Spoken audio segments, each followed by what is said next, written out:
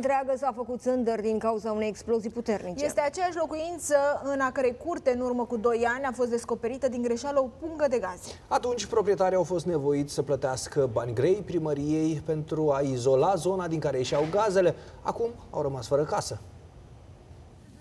În urmă cu 2 ani, în 2022, proprietarul dat de o pungă de gaze în curtea casei. Bărbatul voia să sape un puț, însă la câțiva metri adâncime a țâșnit pe lângă apă și gaz. Acesta s-a aprins, iar flacăra cu o înălțime de câțiva metri a ars peste o săptămână. Primăria a cheltuit 7500 de euro să cimenteze atunci locul, bani pe care i-a cerut apoi proprietarului care nu avusese autorizație să sape puțul. Noi am făcut adresă către toate instituțiile statului, uh, au venit, s-au făcut măsurători de-a lungul timpului, nu au mai fost, nu au mai fost curgeri, după ce s-a stupat acel puț. Acum locuința a fost făcută pulbere de o explozie puternică. Deflagrația l-a aruncat prin geam pe proprietarul care se afla în casă, iar acesta a suferit arsuri la nivelul feței și al mâinilor. Ce că mă, decât a făcut focul.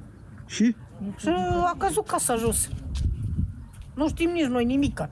A explodat? A explodat, da. Important este că omul este, este în regulă, n-a murit, nu avem o victimă, nu avem un mort, este la spital. Explozia nu a fost urmată și de un incendiu, dar din casă nu a mai rămas aproape nimic. Imediat după incident, autoritățile au început măsurătorile, iar acestea au confirmat că în zonă sunt în continuare scurgeri de gaze. Nu au fost detectate cantități mari de gaz.